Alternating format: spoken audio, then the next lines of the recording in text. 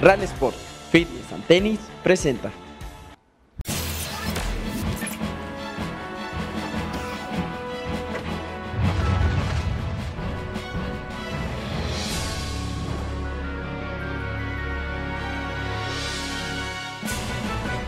A un año de la actual administración, 8 de las 20 dependencias gubernamentales quedaron a deber en el cumplimiento total de sus metas, entre las que destaca la Secretaría de Medio Ambiente y Recursos Naturales a cargo de Benjamín Rico Moreno, la peor posicionada hasta el momento.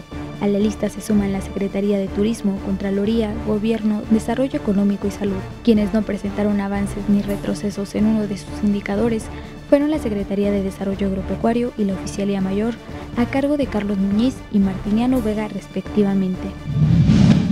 En el municipio de Atotonilco de Tula, cuerpos de seguridad y emergencia localizaron el cuerpo descuartizado de un hombre de 47 años de edad, cuyos miembros fueron metidos en tres bolsas de plástico negras. El clima de inseguridad en Atotonilco ha incrementado a lo largo de los meses de este primer año del gobierno del alcalde Julio César Ángeles Mendoza. Los índices delictivos mantienen como ilícitos más recurrentes el robo de hidrocarburo, el robo a negocio y casa habitación, además de asaltos en vía pública dos personas fallecidas, el deslave parcial de un cerro, así como diversos daños materiales, es el saldo oficial que se tiene a consecuencia de la incesante lluvia en Tepeji del Río y gran parte de la zona suroeste de la entidad. La primer víctima fatal fue un menor de edad, el cual sufrió una descarga durante la tormenta eléctrica. El segundo fallecido, que presumiblemente fue arrastrado por la fuerza del agua, fue localizado en las inmediaciones de la barranca de Tianguistengo. Un sujeto fue golpeado por un grupo de pobladores luego de que fue sorprendido intentando robar en la comunidad del TP en el municipio de Ixmiguilpan.